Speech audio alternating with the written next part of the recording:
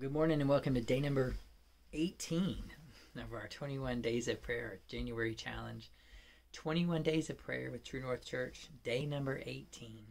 And today I want to continue with our uh, praying on, on how to be a sower. And uh, we're going to pr- be praying today on how to wait and watch. How to wait and watch. And again, our scripture, uh, we'll continue using our scripture from yesterday. It's Mark chapter 4, verses 26 through 29 says, This is what the kingdom of God is like that a man scatters seed on the ground.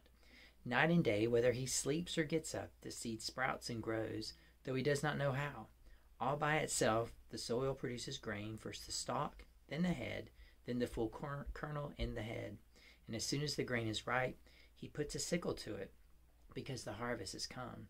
And yesterday we prayed about how to be a better sower, and today we want to pray about how to be patient, how to learn to wait and watch. And there's certain things that we need to do as sowers, and we see from this parable that we that we need to be patient. We have to need to be patient with what's going on because the seed does not bloom to harvest instantly. It doesn't just go from seed to to apple tree in an instant.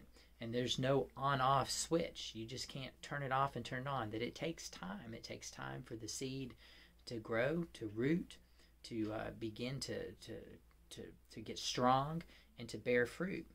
It's because it needs time to germinate, it needs time to grow, and it needs time to mature through its natural organic progression. And that's what we want. That's how you know that somebody is good ground, that you begin to see that they're this natural progression of them getting stronger, them understanding more about the word, understanding more about the seed. And so our job is not to rush it.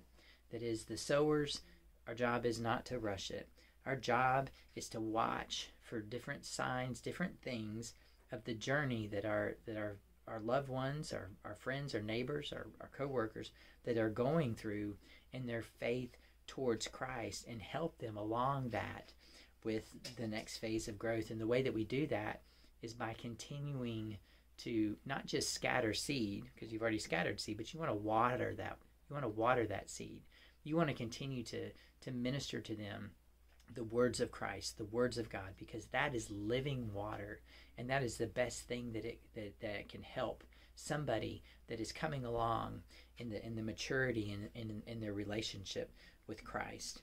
So we, we, we have to pray. We, we have to pray about how do we show them and teach them and, and help them with the grace that's found in Christ. How do we continue to uh, minister the love of God and tell them about the love of Jesus. That it's a transforming love and that it's a love that knows no limits and it's not bound by anything.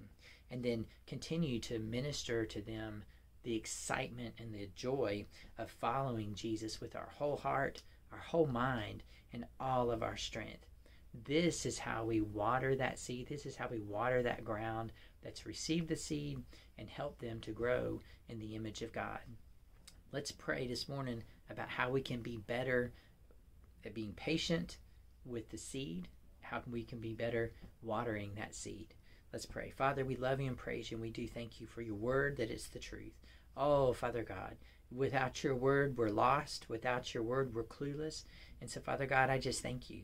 I thank you, Lord, that you don't you you you you tell us how to sow, Father God, and you also tell us how to be patient and how to take care of that seed that has been sown into the ground? How do we take care of those people that we've ministered your love to and ministered seed to, Father God, and that, that we are that we're that we are good at, at showing them and, and teaching them and, and helping them with the grace that is found in you.